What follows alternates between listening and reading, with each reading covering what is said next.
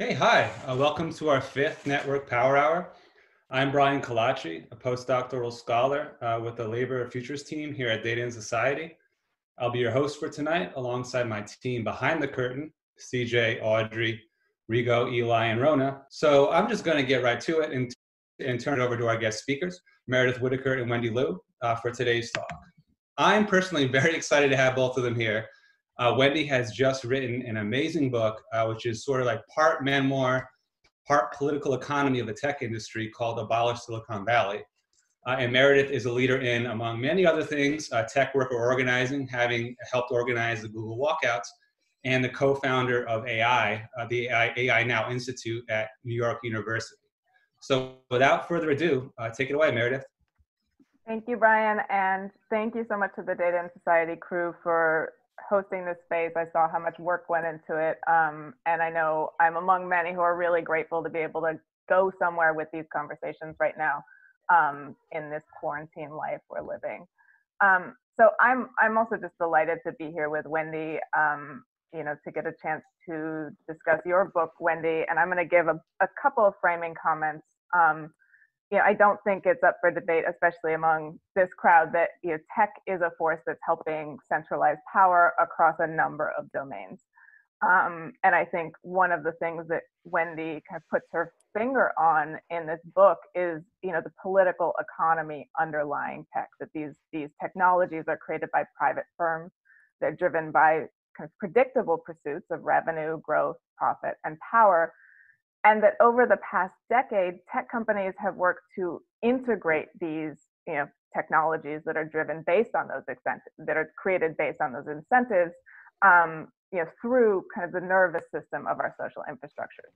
So I know that, you know, to varying degrees, we're kind of waking up, or, or we've already known, but to, to a world in which we've turned over power to make significant social decisions, determining who's worthy of resources, who gets a job, who gets opportunity, um, essentially the companies who have convinced us that human progress is synonymous with their growth and their profits. And I think this is something that, again, Wendy kind of, you know, really, really um, explores deeply in her book. Thank you, Meredith, for that introduction. And uh, thank you to the Data and Society team for organizing this. I'm really honored to be here. And and so, you know, if I come out here with a title like Abolish Silicon Valley, it's going to rub some people the wrong way. And I think, you know, that's that's fair enough. Um, but I do want to get the point across that there are some great things about the industry as it currently stands, um, but there are also some really horrible flaws. Um, and you can say that they're structural flaws. They were built into the way the system is designed. And, and that's a really difficult kind of uh, gap to cross over. And it's hard to reconcile those perspectives. But it does kind of makes sense if you see the bubble as um, something that's structural. So it's it's not the fault of the people in the industry if they're unable to see its flaws. It doesn't mean they are, you know, bad people and it, it doesn't mean that there's anything wrong with them. It just means that structurally they're situated in a position which means that they only ever get to see the good things and they're unable to see the bad. And of course, that doesn't mean that the bad doesn't exist. It just means that certain people are shielded from it. And so we get to a point where you can have venture capitalists uh, talk about how inequality is good and companies like Uber and Lyft only ever create opportunity. And, you know, on the one hand, sure, what they're saying could be self serving, it could just be they, they want to justify their own place, but I also think they probably do believe it to some degree. And you know, it's not surprising that they believe it because of the position they occupy within the system. Um, and if we, you know, if we take a step back and talk about capitalism and how capitalism appears to people capitalism always has two sides right? There's the there's there's the really nice side. There's the side of um, rewards and innovation and uh, achievements and productivity and you know the ability to make a lot of money and to do whatever you want the side of freedom. That is the side that the beneficiaries of the industry have access to they do not see the other side they do not have to um, experience the downsides of capitalism in the same way that most people do. They never see the disciplinary side. They are not the ones who are woken up by, you know, a notification on their phone that tells them that they need to do do this like gig gig job just to be able to pay their rent. They do not experience capitalism the same way that other people do. And I think that kind of gets to the heart of what I'm trying to do with the book, which is to uh, to break this idea of a universal we, because this is something that venture capitalists and tech thought leaders and you know people who extol the virtues of the industry they they love the idea of just saying we need to do something right? Like there's no left or right. We, ju- we just need to go forward. We need to build. As if there is this monolithic we. Um, and of course what they're doing is they're alighting the possibility that there are dif- different interests at play that there are people who want different things and those interests can be diametrically opposed. You can have some people for whom um, they want nothing in the world other than to have other people work for them right? They, they want control over other people and then there are people who just want to be able to survive and not be under others control. And those those cannot be reconciled except through politics uh, i think it's a huge conceit in the tech industry that what they're doing is not necessarily political. It's just about progress. It's about innovation. It's about some kind of neutral idea of advancement. And of course there's there's nothing that's divorced from politics. Politics is all about how to reconcile how to adjudicate different interests and different desires. And there is no way to step above that. Uh, i think that comes from this idea that the current system is apolitical and you know the status quo will always seem apolitical and so anything that challenges that will seem political. But yeah i think uh, in in general what i what i would love to talk about in this conversation today is how how meredith like how did you personally get to the point where you are now? Um, and what was the voice inside your head telling you like if did you have did you have this weird kind of um like i don't know what to call it just uh because for me i think the what i had was i i really believed in the tech industry to the extent where it was very very hard for me to accept the critiques of it. And it took a really long time of like debating and trying to decide like what makes sense what doesn't make sense. You know maybe the critics are just jealous um, right? I'm, I'm sure inequality is good. Uh, so yeah i was just would love to hear from you what was your experience like in you know accepting a more critical understanding of the industry thank you absolutely um, i mean i i have a weird winding path through the industry so i um, went I, I got out of college I didn't have any money. I don't come from a place, I, I, my family doesn't have money. Um, and I needed a job. And back in the olden days, there was a website called Monster that was like LinkedIn. And Google found uh, my resume on Monster and hired me as a temp doing like um, technical documentation and essentially customer support. So that was my entree into tech. I have a, a humanities background. I didn't, I had no sort of native interest in tech. And back in 2006, when I started, it was not the same thing it is today. It was, you know, in in some ways the like hubris was worse because they had never been scorched before. But in in many ways, um, it was a lot harder to find these critiques. And while there was a small kind of cohort of scholars and advocates who were thinking very critically about this, you know, and there's a legacy of that thought, it wasn't something that had come anywhere near to the sort of rarefied Mountain View campus you know, I, I was always interested in the sort of intersection of sort of the political and the social and technology, like where the, you know, where technology meets air.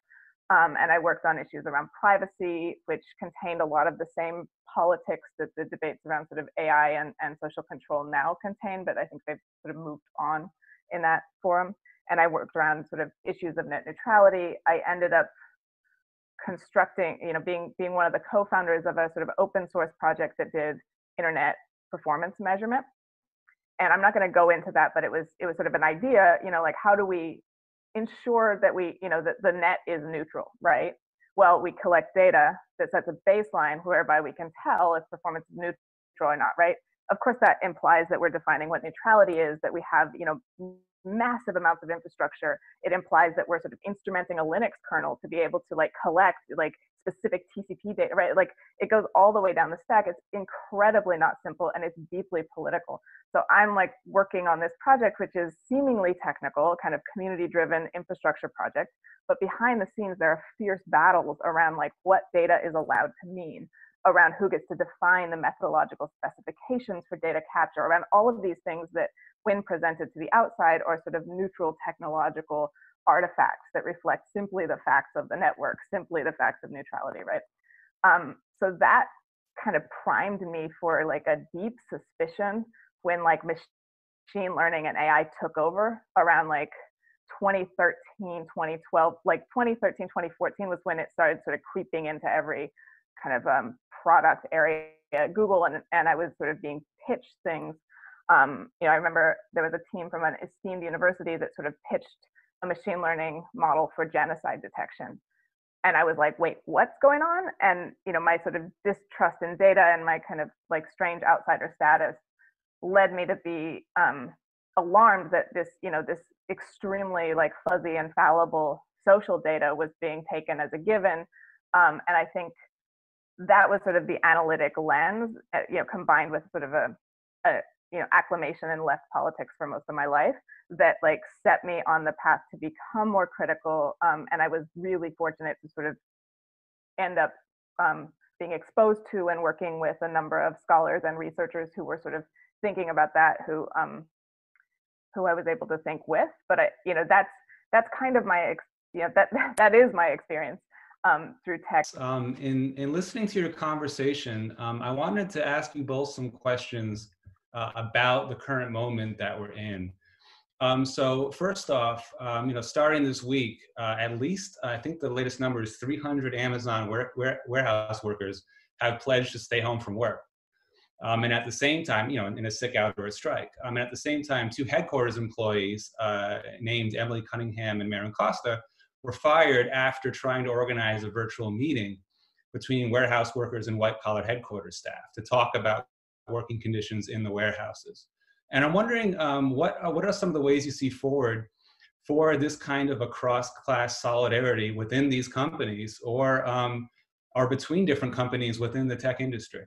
There is no way forward but this kind of cross class solidarity, right? If we're looking at the structures of these companies there's you know we can think of the you know the metaphor of the tentacles the metaphor of the nervous system but you know they are everywhere and they are difficult to trace right from sort of education to med- medicine to logistics to you know controlling the publishing industry to some extent right?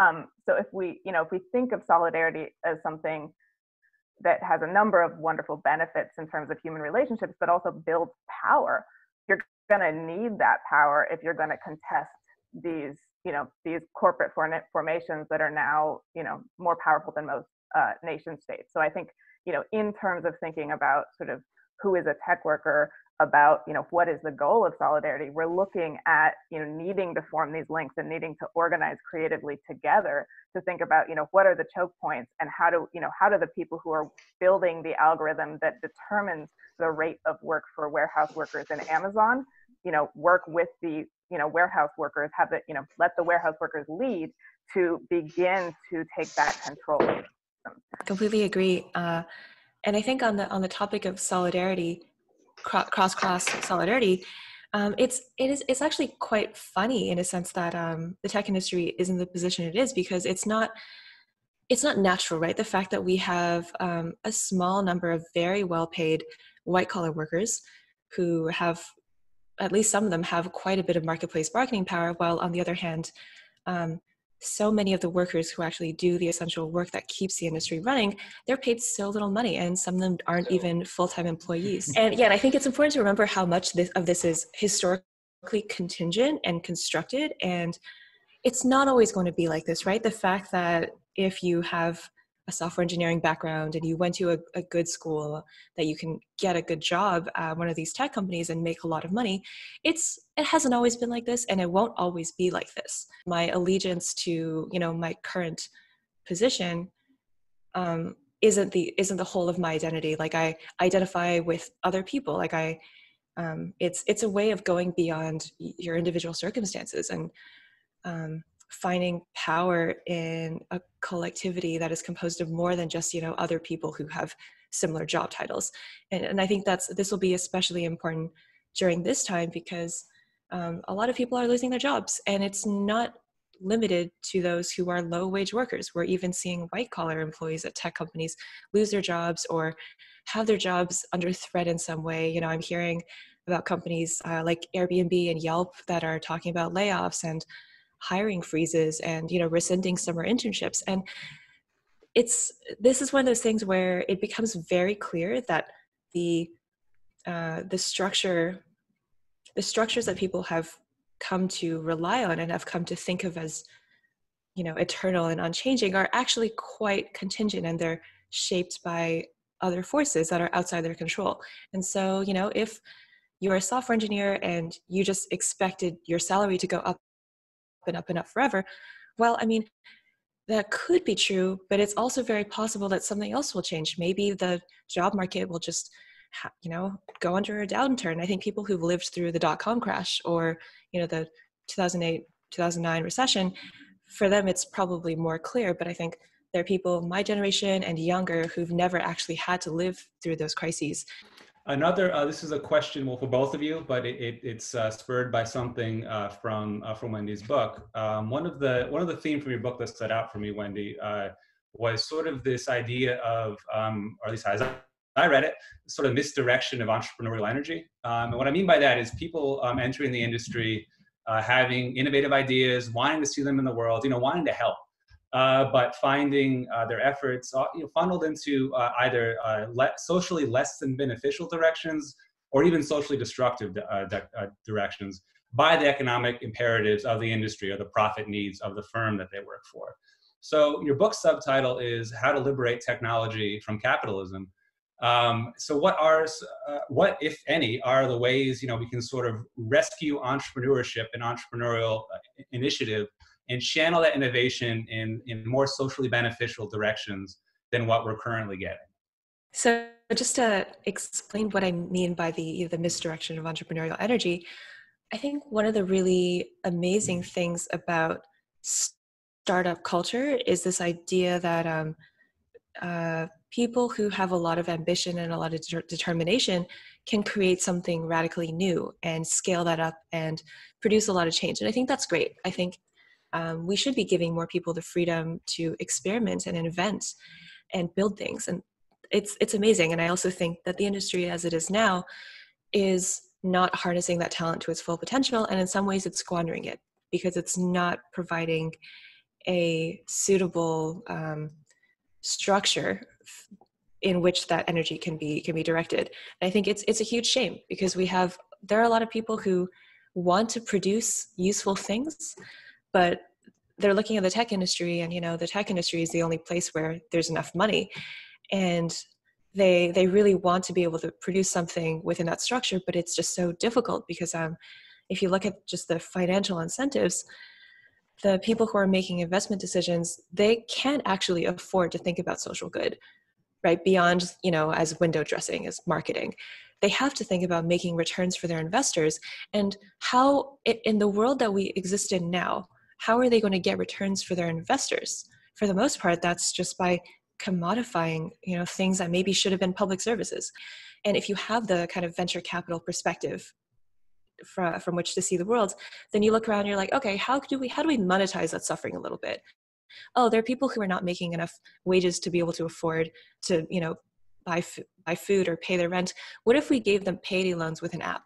I think that is kind of like the best you can hope for from the silicon valley mindset and that's not to say that the people who are making these decisions are bad people i think it's just that they're hampered by a structure that prevents them from a way that is truly in the best interests of those they're supposed to be serving. The the companies that do raise tons of money, I mean, they have really good PR teams. They're really good at saying that they're going to make the world a better place. But then if you look at what they actually do, their accountability is to shareholders. And the shareholders are wholly unrepresentative of, you know, the actual people they're supposed to be serving. So yeah, I think this misdirection of entrepreneurial energy is just one of the largest um, I don't know problems. It's just it's just such a huge shame. Yeah, I will co-sign that. Um, yeah, this is not working. Uh, surprise ending.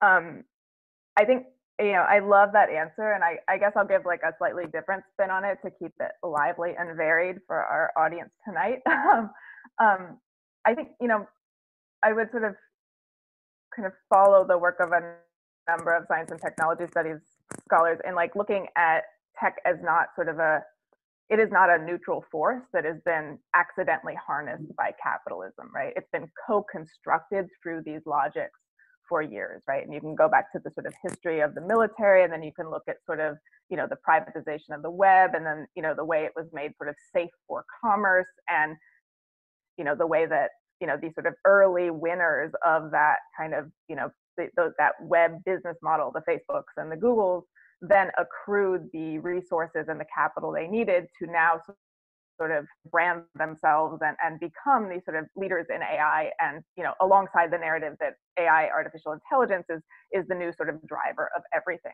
So I think we look need to look not only at sort of capitalism as a structure that prevents the sort of liberatory potential of these technologies, but actually like how were these technologies designed? How do they and for whom right? And i think about specifically in the context of the sort of machine learning driven ai which i spend a lot of my time with and which is sort of you know kind of the the i think the, the most prominent and dangerous narrative that is sort of furthering the infiltration of this technology everywhere um, and it requires these massive data sets right? It requires this massive centralized computational power and the ability to sort of have access to continually collect these data. So a sort of market infrastructure that is widely distributed. And that sort of presupposes this sort of centralized power, right? That data is created not based on sort of a, a natural off-gassing of my, you know, my life as Meredith, but about what a corporation wants to know about me and thinks it can construct about me, right? And so I, you know, I kind of go back to maybe James Scott here, like there's sort of a, you know, whose gaze does this data represent? And is there a possibility of turning those types of technologies that presuppose a knower and billions of people who are known in that power asymmetry toward liberatory ends? And I, you know, I'm not saying, you know, I'm not anti-tech, whatever that would mean, but I do think we have to be very careful about the idea that we can sort of, you know, just turn these technologies under a different system toward um, toward ends that would be beneficial. Uh, you know, I can name a number of projects that I think are, are doing really elegant and um, um, work with uh, with with technologies, but I think we have to think about, you know, we, we have to think about, you know, what, how exactly they're designed, who gets to design them, um, and whether they weren't, you know, actually kind of built with these types of ends in mind and need to be sort of deconstructed um, such that they could uh, serve other purposes. Mm. Uh, just to add to that quickly, I think the, the thing that comes to mind today is uh, there there was um, a leak from Amazon recently about how at Whole Foods, you know, they're they're creating this like map to see what stores are likely to unionize, and that's just such a perfect distillation of like what technology can do if it's used for the wrong purposes. And it's like, of, course, um, to the person building this technology, they're probably thinking, oh, this is just a fun technology. It's pro- it's got to be fine. My boss is paying me to do it. Like there can't be any problems. This is like all legal. And yet, you know, of course, if you're a worker at uh, at one of these stores and you hear about this technology, you just feel betrayed because this technology is obviously not for you. It's to control you. It's to make your life worse. Yeah, it's to violate your, you know, protected labor rights, right? Like one of the data inputs that I was reading on that was, you know, calls to the HR tip line, right? Like if, um, if you want to, you know, you want to talk about shady, I think that's, you know, there it is. But again, who had a choice of whether to make that technology, right? Amazon could make that there's not there's not a scrappy enough union that could make that in the time needed to sort of identify hotspots where unionization and organizing might be necessary. I mean, I think you could try, but I would say put your resources elsewhere if you're a union. Another, I, I want to pull a question from the uh, from the sidebar uh, from JS, uh, which which was um, uh, basically asking about how we can uh, cross from uh, cross class to international solidarity. Um, you know, a lot of this work is um, you know is outsourced to developing countries. Uh, of course, you know, different laws apply, wages are lower. Um, in my, my, own research, I'll just add that, uh, you know, I thought I was studying the fissured workplace and the gig economy and come to find out most of this stuff was pioneered uh, trying to get around Mexican and Indian labor laws um, in the 70s. So, um, yeah, could you speak at all to, uh, you know, looking beyond the, the you know, domestic, um, domestic scene and, and if there are ways to, um, across vast distances, uh, engage in those kinds of solidarities? I mean, I will I will back that a thousand percent. It absolutely needs to be international, right? And we need to think, you know, who are the content moderators? Who are the people who are labeling the data and, you know, who, you know, in these outsourced sort of um, like Turk worker shops, um, who are the cobalt miners, right? I think we can begin to have a map on like, you know, where are there sort of what are the essential workers on whom tech is dependent um, and think about you know solidarity building internationally. I think this is you know this is not a new problem and i would you know i am i am not an expert on building this sort of you know radical international right? I think there have been people thinking about this and working on this for you know many many decades you know centuries depending on how we count. Um, but it has never been more urgent than now if we look at the you know the the, the vast distribution of or, or, or the, the, the vast influence of the power of a small number of firms um, across you know multinational terrains. And i think you know it, i think it's going to call into being new forms of organizing call into being new forms of solidarity. Um, and i you know i want to support the people who are working on that and i want to think with them about it. But i you know again i think it's you know i got to be humble. I, I don't know the answer to that. I just know it's necessary. Yeah i'll i'll echo that. Um, and i think just to talk a little bit about the context i mean there is a reason that silicon valley is associated with the US. There's a reason so much money flows towards US firms. And even though Silicon Valley did not necessarily create the problem, they're still benefiting from it. They're still benefiting from this highly unequal uh, world system where countries like the United States, with its huge military budget, um, and all the other companies in its kind of uh, under its aegis, uh, they're benefiting from these unequal trade agreements. They're benefiting from the fact that workers in many other countries are not afforded the same labor protections or you know a living wage and and so i think if we start to investigate where all these companies make their money then we we should be talking a lot about um, uh, workers who expand you know who are not within the borders of the united states because you know where does apple make its money it's not just software engineers in um, in the bay area it's also factory workers who are working under just horrible, grueling conditions, and they're paid so little.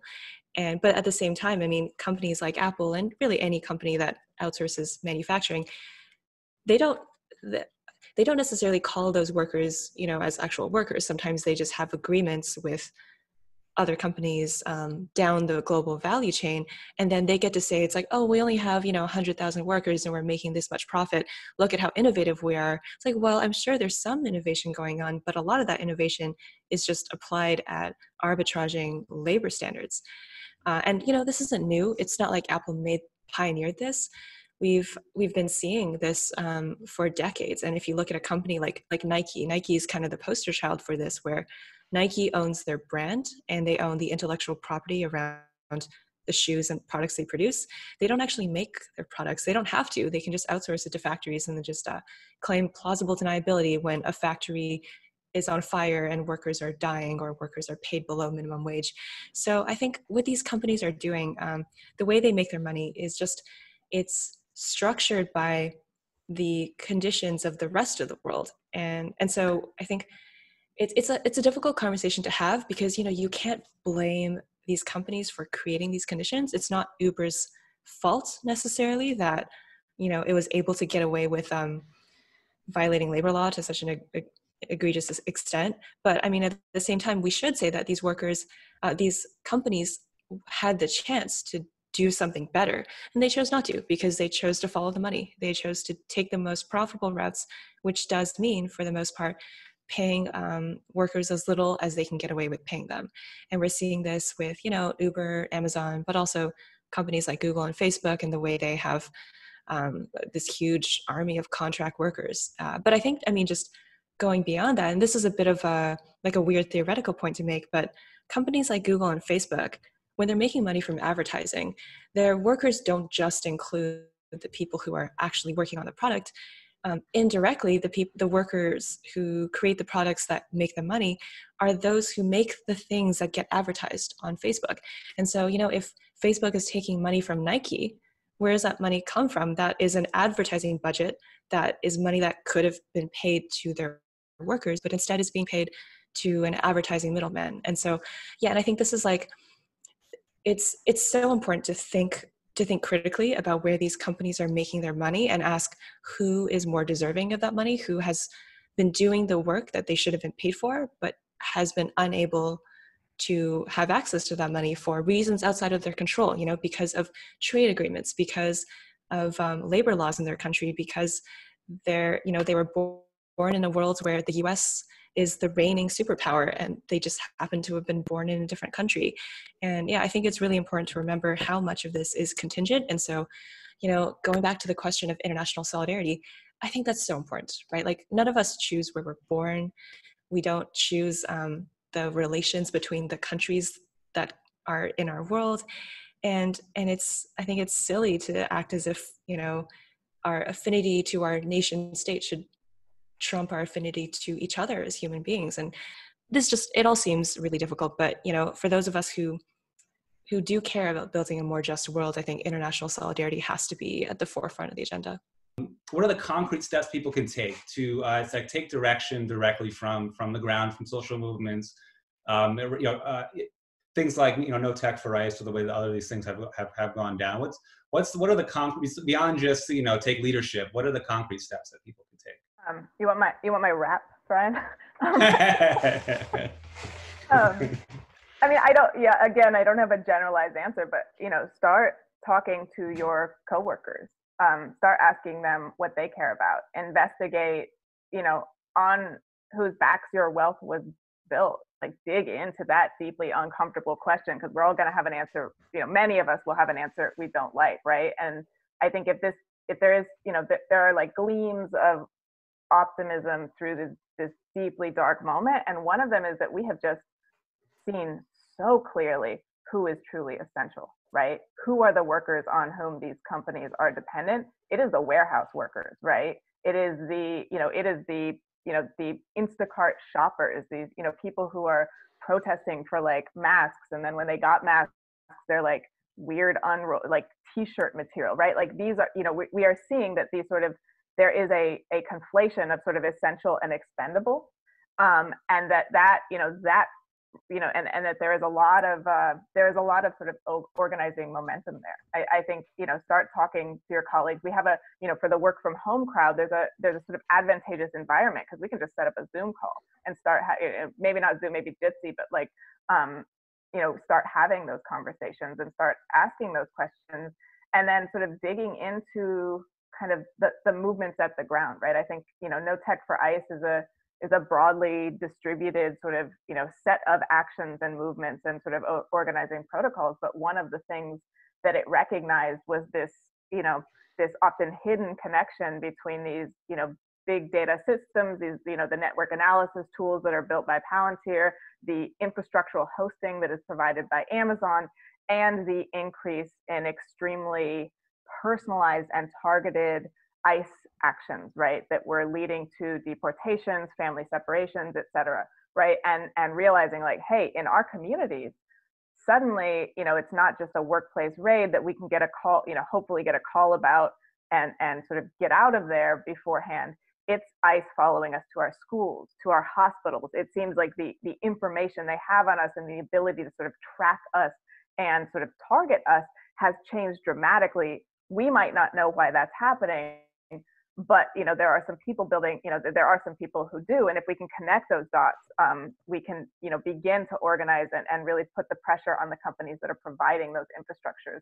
And i would i would give a shout out to the organization mi gente who's been working um, you know directly with with frontline communities on the southern border but has also been pushing the No Tech for ICE campaign and has done tremendous work just digging up FOIAs and a lot of information that wasn't readily available on how much ICE relies on these technical infrastructures of surveillance, tracking, and control. So that's you know that's a that's a little nugget, a little inspiration. But across the industry, there are just you know it is ripe for this type of kind of you know research and organizing and sort of you know creative solidarity building.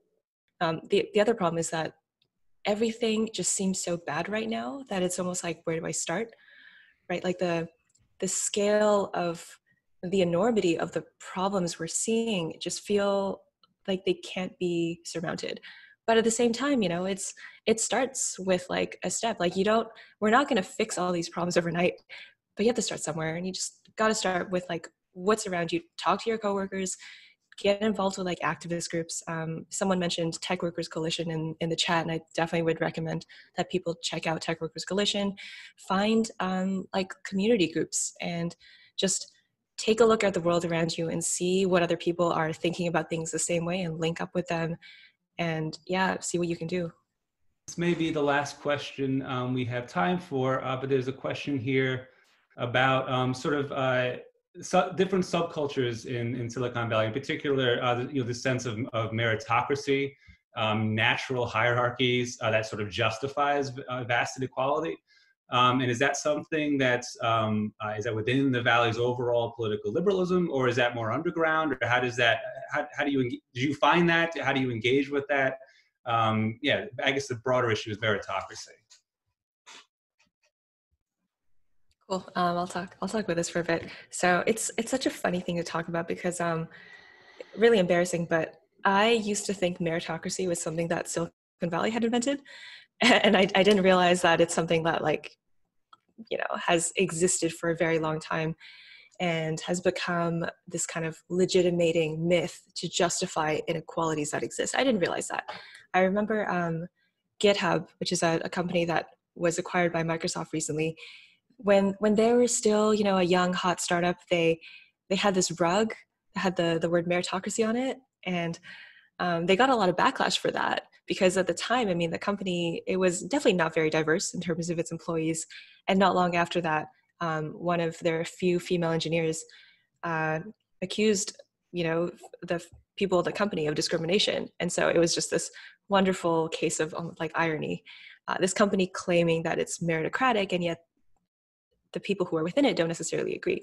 But I think the idea of meritocracy is a very powerful one, um, partly for almost obvious reasons, right? Where if if you have if you have uh, like an industry or ecosystem that is glamorized and is accruing so many rewards, where people can become tr- tremendously wealthy just by you know starting a startup or writing code or something, then of course the people in that field want to believe that it was earned they want to believe that it was their merit. They don't want to think that it was a handout. They don't want to think that there were biases, you know, in favor of them. They want to think that the system was fair and they're at the top because they earned it. They deserve it. They worked hard. They're smart. You know, it's just, it's just natural. And I think this is something that um, is. It's like when you put it that way, it feels a little silly because you're like, oh, of, of course they believe that. You know, who wouldn't? But I think that's a you know an accurate description of what's happening in the tech industry. And the the the big problem with that is the people for whom meritocracy is not working, the people who uh, mostly you know women, people of color, people from non-traditional backgrounds who are not able to succeed in the same way. Uh, the ones who do succeed find it very easy to just write them off. And so meritocracy has this compounding effect where any criticism of it only shores it up right? Because you, you, let's say you have all these women who are saying oh the industry is really sexist. It's not working for me. And then the men are just like you're just a victim. You're just complaining because you can hack it. It's like you know which which interpretation is true? I mean i think if we were to look at it from the outside i think it's really important to remember that any definition of merit is always one that's contested. It's not a universal one. It's the definition is created by those who have the power to define it. And we should always be suspicious of those who are trying to justify their own power. And we have to remember that um, the the idea of meritocracy can only be introduced in a system that is already riven with other forms of inequality. So, you know, you have sexism, racism, you have all these other kinds of um, modes of discrimination that already exist, and meritocracy does not does not ever exist um, in a vacuum apart from that. You said it, I think, and it's it's notable that the first use of the term was in sort of satirizing it, right? Like this is a kind of a, an you know kind of the perfect topology. The people in power get to define this as a meritocracy, and uh, we're all good. Um, I think you know again, it's sort of a symptom of this sort of you know broader think like means testing world we're living in right where there are people who are presupposed not to have merit not to deserve resources and well-being and you know within that only certain people can rise to the top. I mean i think you know at this moment the absurdity of it couldn't be starker right like a meritocracy would be where warehouse workers are perhaps making you know closer to bezos salaries right? But um you know the, the sort of the idea of tying sort of remuneration to waged work and distributing re- resources through the value, the perceived value of people's waged work is sort of, you know, something I think we need to pick apart as we're picking apart kind of Silicon Valley's sort of shallow and self-serving conception of itself as a meritocracy. So, sort of taking us to the close here, um, and as I mentioned earlier, one of our aims for this event is to use what we know uh, to think together about about a way forward. So, uh, Meredith and Wendy, uh, can you help us close the call with with some ideas for actions or or things to think about? Okay, I'll I'll, I'll uh, give this a shot. So, I mean, it it's hard because I think we're we're living through a really bleak and difficult time. Um, and it's easy to just look at all the news and just feel incredibly demoralized and um, pessimistic about what's going to happen. But I think it, you know, at a time like this, we need we need optimism more than ever, and we need to we need to be realistic, sure, but we also need to believe that there is a sliver of light on the horizon that we can aim towards. And I think for, for me, the the way I get that kind of optimism, it's it's by looking at um, it's by looking at the the good that's coming out of this in the sense that you know we're we are shifting the way we understand society we're shifting um, our our relationships with each other i think people are coming to realize that human contact is actually important and that there are workers who are doing essential work but not getting the amount of money they they deserve um, and also that the people who are making the most money aren't actually doing anything right now. Like Jeff Bezos is not de- is not delivering your packages. Um, he he's got like a ton of you know houses he can hold up in. So yeah, I think the it you know if I'm going to try and be optimistic, it's by thinking of just the the ways in which the perceived wisdom about how the economy must work have been challenged by this crisis. And I hope that after this, people will come out of it with a, a new perspective and think, well, you know, what do we actually need? How do we actually want society to work? Um, and I hope they realize that. I hope they ground their new perspective in solidarity with each other, with the people who have, you know, brought them food, or the people who they've uh, quarantined with, the people who, the healthcare workers who have taken care of them, the people who cl- keep the streets clean. Um, and I hope, yeah, I hope there's this kind of renewed notion of solidarity and just this part of being in a society and that we need a society like society is some is so core to the way we to you know to just to the way we're socialized and like a world where we're all these atomized individuals who don't have any human relations with each other outside of the market um, that's that seems really sad. And i and i hope we we build something new that's grounded in a deeper notion of solidarity. Yes that um, I yeah, I think I think solidarity is being formed through networks of care right now, and thinking about how we can sort of reorient our work and you know the work we demand of the institutions around us toward that radical politics of care is a project we all have a role in engaging in and we've you know we've been given like this sort of cursed gift of seeing it so clearly with such you know um, I, you know, in such a difficult way. But it's very clear that that is, this, you know, those are the connective tissues on which sort of a healthy world and you know healthy lives are built. And I think you know we can also see who is sort of being harmed the most by the lack of those infrastructures and the sort of you know kind of this this uh, this sort of neoliberal racialized capitalism that is governing the you know this sort of um, the death drive that we're currently um, encountering. So uh, I'll leave it there. But I, I, there's always hope. Nothing's inevitable, and there's a lot of really wonderful work going on. So I want to thank thank all of you again for this space, and thank you so much, Wendy. Um, I'm so excited we got to have this conversation, and thank you, Brian. All right. So th- thank you everyone for joining us tonight, um, and thank you so much to Wendy and Meredith uh, for, for coming by. Um, Wendy's book Abolish Silicon Valley is available for purchase and to the library. Uh, so thanks again, Wendy Meredith, Meredith, and to all of you, uh, good night. Thank you so much for stopping by.